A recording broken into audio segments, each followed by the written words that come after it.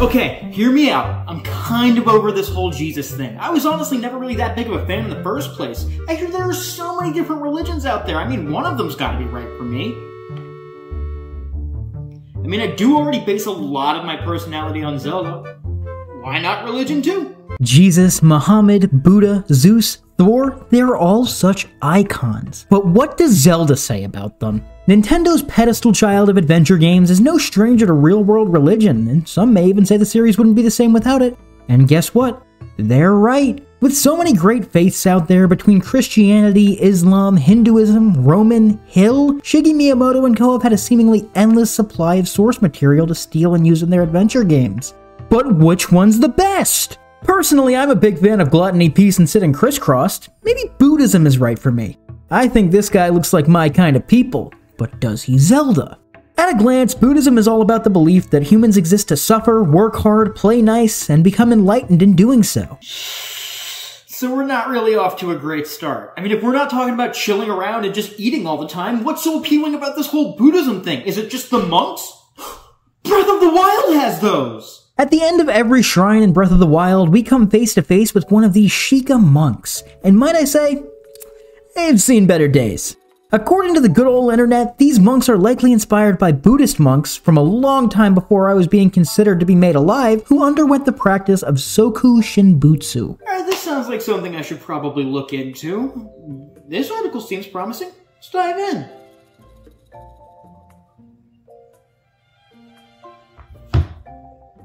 I'm out. Soku Shinbutsu was a practice that was banned in the 1800s, if that tells you anything at all. Essentially, monks would spend just over eight years working towards preserving themselves in some creepy mummified state by quite literally only eating things that come from a tree. And I'm not talking fruits or coffee here, so we're already skipping breakfast, it seems. As if only eating wood isn't enough, they'd slowly reduce their consumption over time, and they'd eventually stop drinking water just like a true gamer, and after a little while longer, they'd literally be buried in a box and meditate until they died. Don't worry though, after this they'd go to heaven and other people would worship their corpse. Naturally. I might have to be out on this whole Buddhism thing. I thought it'd be prettier than that.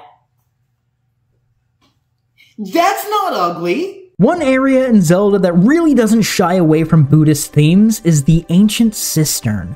Between the Chonkin Buddha head in the hub room and the abundance of lotus flowers which represent purity in this faith, the influences are clear. Geez, everything is so nice here. This is fantastic. I may be reconsidering this whole Buddhism thing. Oh, come on! I'd love to see how they're going to justify this one. This seemingly hellish underworld section of the ancient cistern, just below the serene, luscious corridors above it, heavily correlates with the Buddhist tale of the spider's thread. The story essentially says that Buddha was outside touching grass like a good religious figure should, and then he saw hell through a pond, much in the same way that Germans would see pinup girls at the bottom of their steins. He then saw this bad mofo writhing along down there with his homies. is me. Buddha then remembered when that guy did a nice thing that one time that guy did a nice thing, and he began to lower a single spider's thread into the water with the hopes of yanking his sorry ass out of hell. While sulking in the lake of blood, the guy saw the silver spider's thread descending from the sky, and he got as excited as I would after Piano Man comes on after a few drinks. He then started climbing and got even more excited, and he was probably singing Piano Man as I would after a few drinks, and he drew the attention of all the other sinners who started following him up the thread. He then got just as pissed as I would if somebody turned off Piano Man after a few drinks, and when he yelled at them, the thread that likely shouldn't have even held his weight snapped, and he, alongside all the other sinners, plummeted back into the pool of blood below them. Alright, so that was a really, really cool story. I guess I'll give Buddhism one more chance. After I sing Piano Man. So sing us a song, you're the Piano Man! Sing us a song tonight! Another game that tends to have tons of real world inspirations for all the crazy, unique characters, themes, scenarios, and uh, masks is Majora's Mask. Seemingly every interaction and item has a deeper meaning or story behind it. For instance, take the stone mask. It's inspired by stones. There are rocks in the back of Buddhist art sometimes, right? Right? In all seriousness, though, one of the coolest masks in this game is the Fierce Deity's mask, and that name alone makes me think it's got to do something with God or religion, right? And sure enough, the fierce deity that the mask is likely based upon is a Buddhist Kishin. Now, I don't know about you guys, but I'd rather not kish this thing. He looks spicy. These wrathful deities are the incredible hulks of Buddhism. They're all fun and games until you f up. Once you let your bad side shine like a blister in the sun, these things supposedly unleash their wrath in the name of compassion. That's because just like the American prison system, these guys, they just want to rehabilitate you by punishing you for any small mistake. I mean, who didn't love their strictest high school teachers? oh, I'm sorry, Mrs. Smith! Uh, okay, there's gotta be something cool in Zelda that's from or inspired by Buddhism. I mean, the three day cycle in Majora's Mask could represent the cycle of death and rebirth, or reincarnation, that sounds reassuring. But everybody being stuck in Termina, whether dead or alive, due to their emotional attachments and ties, seems a little tough. If it's not for Link, they're all just gonna die and spend eternity in purgatory. That doesn't sound pleasant. I don't know, I've got a few more good years left in me. I think I probably want to hold off reincarnating for now. Maybe I'll give this Buddhism shot a thing again later, but right now I need to find a religion that works for me today!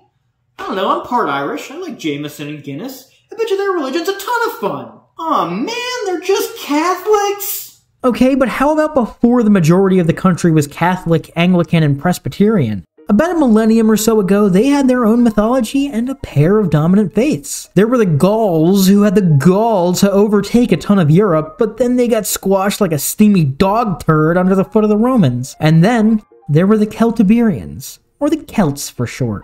These folks did more than just some cool things with knots and stuff. They also had some gods based around some pagan deities, the most prominent of which is Danu. The mother of the goddess of the people of the goddess Danu, yes, that's what they're called, draws heavy parallels to Hylia and the Hylians. While there's about as much known as this old faith as I know about Aussie rules football, I don't know anything about Aussie rules football. The naming conventions unfortunately seem to be the only correlation here, though. Damn, I had my hopes up, but I'm not gonna give up yet. If there's a way I can worship liver failure and potatoes, I've got to exhaust every single resource! After reading more about the old Celts, one more apparent inspiration the Zelda team took was in the naming of Link's trusty steed. The Celts believed in an ancient horse god whose name was based on the Celtic words for epos, meaning horse, and Anna, meaning on a. And this god of being on a horse was creatively named Horse Anna, or as you guessed it, Epona. And would you believe this? That's the horse he's naming the games! Alright, so I'm starting to think there might not be enough here. I need some more sustenance. Anybody else want hibachi? I wonder what the Japanese believe. The most prominent faith in Japan is Shintoism. This traditional Japanese religion centers around the belief that everyone in the world is good, but people are often corrupted by evil spirits that must be prayed away. Yeah, you see, I tried explaining that to my parole officer, but he still won't take my cool ankle bracelet off. I have no clue what this man wants from me. In this faith, they don't believe in one or even a handful of gods, but rather about 8 million individual spirits called kami. These spirits that are said to be of nature come in a few different types. There's Amatsukami, or the heavenly deities, Kunitsukami, or gods of the earthly realm, and Ya o Yorozu no Kami, or just countlessly many kami. I don't know about you guys, but 8 million seems like a bit much to keep up with to me. Good thing about only 20 or so are notable, and at the top of that list is Amaterasu, or the sun goddess and the chief deity of the Shinto faith. And get this, it's kind of like the Hylian faith. The land of Hyrule was created by the three golden goddesses, who made everything and then ran away like I would when my parole officer catches me going for a walk. In classical Shinto mythology, the world was created by Izanagi and his Alabamian sister wife, Izanami. Once they finished their steamy cousin loving affair, resulting in the birth of, well, everything, they left this world with Amaterasu in charge of watching over it, much in the same way that Hylia governed the land of Hyrule after the creation of it by the Golden Goddesses. One more clear ideological theft is seen in the bloodline of the Hyrulean royal family beginning with Hylia, much in the same way that the Japanese royal family is said to begin with the Sun Goddess, despite her being a virgin just like all of us. Alright, so what I'm hearing right now is that I can basically worship the Hylian faith. Damn, too bad I'm deaf today. With Nintendo and many of its employees being Japanese, the Shinto parallels are more than plentiful. In The Wind Waker, we've got these slimy looking ass, cloud riding ass, overly windy ass, frog ass asses that are based on another prominent pair of kami in the form of Raijin and Fujin, the gods of thunder and wind. Both of these illustrious deities are often feared in Japanese culture, while Raijin is much more so than Fujin. They do both have some pretty juicy lore attached to them that links them to Zephos and Cyclos pretty neatly. While both of the talking frog gods that hail over the Great Sea are vaguely classified as wind gods, it's clear that Zephos is much more clearly linked to Fujin, as he's the peaceful one who aids Link in controlling the winds, much in the way that Fujin delivers gusts from his pouch and keeps the enemies of the Japanese at bay, because you know, gotta stop those damn Mongolians. Cyclos, on the other hand, aligns more clearly with Raijin, who is the one that parents use to scare their children at times when they're young, claiming that he's gonna come after their belly buttons. I don't know, it makes sense apparently. And while Fujin is said to be able to conjure up a storm from time to time, that's kind of Raijin's whole shtick, much in the same way that Cyclos shockingly loves cyclones, in the same way that I love breaking my parole. Now, while those three kami seem pretty significant, what about the other 7,999,997 or so? The reason that there are so many of these is that because anybody can become a kami when they croak. That's because while they're said to be deities, they more clearly fall in line with the Western ideal of spirits wandering the world. They say that everything in the world has a kami residing in it, and I'm talking everything the breeze, rain, rocks, trees, water, dirt, fungus, bear shit, dog shit, horse shit. I've personally got dibs on becoming a bagel. With so many spirits around, you can't possibly pray to each one individually, and that's why there are shrines all over Japan that are meant for people to come and worship. And yes, the word shrine was meant to trigger you.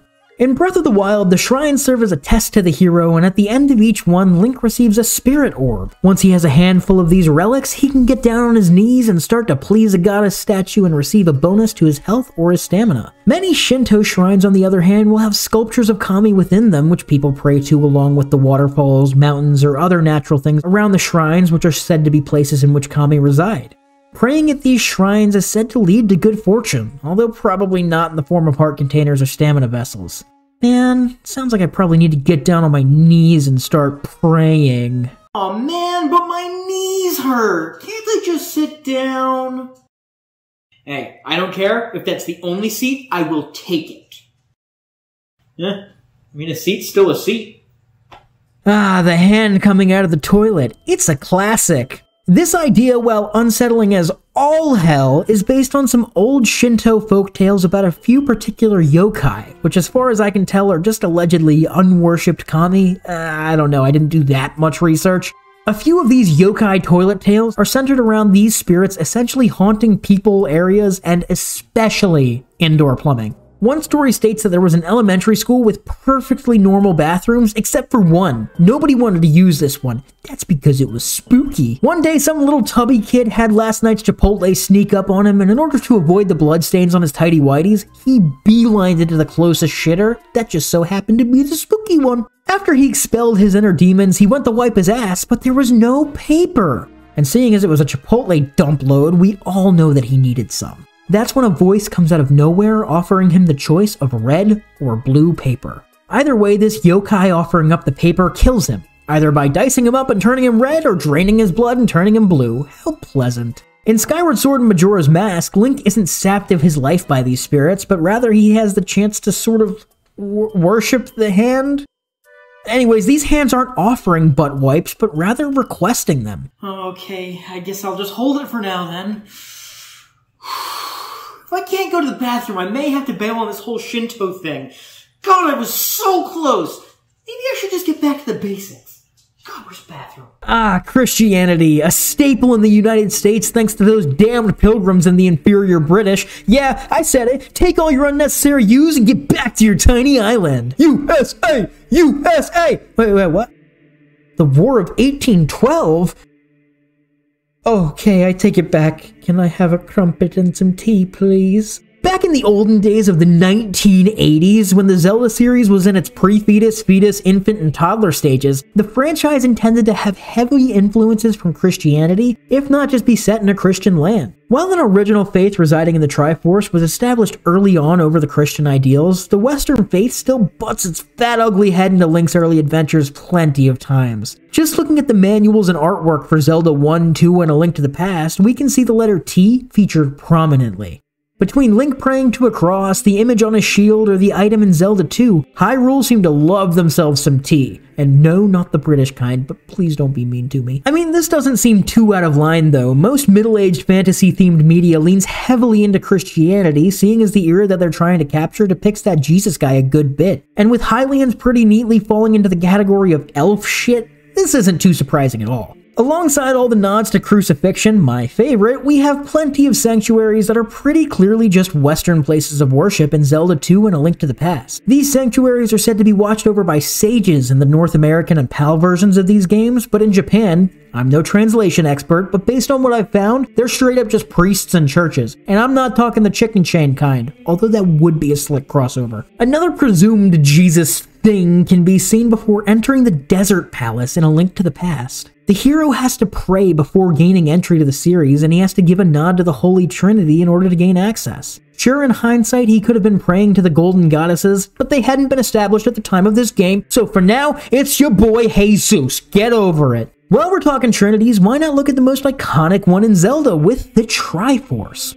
Sure, there are a ton of things it could be, but looking at the Celtic Trinity knots, there's a definitive parallel between this triangle and this one. These Celtic trinities are known to represent the good Lord himself, sweet baby Jesus, and some ghost or something, I don't know. But the parallel of threes could definitely correlate, but honestly, this could go hand in hand with a lot of things, so just take it with a grain of salt. Guys, I still really need to pee. Is there a bathroom somewhere around here?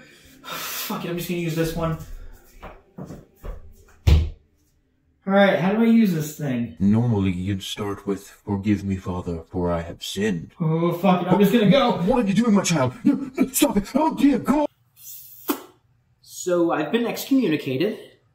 Jeez, I need to find a religion fast. I'm planning on dying in 60 to 80 years. How else am I gonna know what's gonna happen to me? Alright, how about Hellenism, this ancient Greek religion? Seems pretty cool. I like Percy Jackson. Let's see, so there are Cyclops enemies in Zelda, and a lot of enemy designs seem to come from Greek mythology. That's neat. Ooh, and the Pegasus boots are inspired by the story of Hermes. That's cool. Wait, what do you mean nobody follows this religion anymore? Damn. Okay, well, how about Hinduism? If a billion people in India alone believe in it, it has to have some merits, right? So we've got snake imagery in the desert dungeons, like the Spirit Temple and the Arbiter's Grounds, and I don't know about you, but I love things with two arms or less. Also, Sahasrahla and his brother Aginah are named after chakras. I did yoga one time, and I hate blocking things. We're off to a great start. This could be good. Ooh, and Koloktos has Hindi origins?